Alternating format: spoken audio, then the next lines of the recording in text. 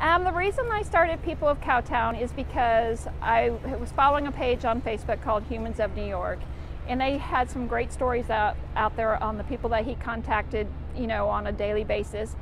And I love the people of Kansas City. We have a lot of heart, we're giving, we're caring, we're kind, and I just want to show the rest of the world what Kansas Cityans are made of. Um, during the World Series, they didn't even know where we were at. And it's kind of sad because, like they say, we're flyover states, but if they stop and stay a while, they will be very pleasantly surprised.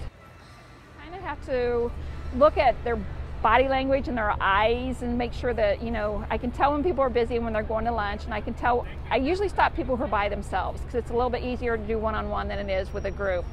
So, um, and sometimes I just step right in front of them and ask them if they've heard of people of Cowtown and say, say my name and ask them if they'd be willing to share their story with the world. What I tell them when I stop and talk to them and I say, you know, this is about you. This is your time to take whatever you want to say, whatever you're uh, passionate about, it's your platform. And so if you feel strongly about something, you know, the rest of the world is ready and willing to listen to it if you just want to share. So this has helped me to be able to reach out to people and be able to show them, or at least listen to them, because everybody wants somebody to listen to them. So, and when you do that, it kind of makes humanizes everybody. And that's what kind of like what I want to do. I want to make somebody feel like it, they're important, just for that one time, that one moment.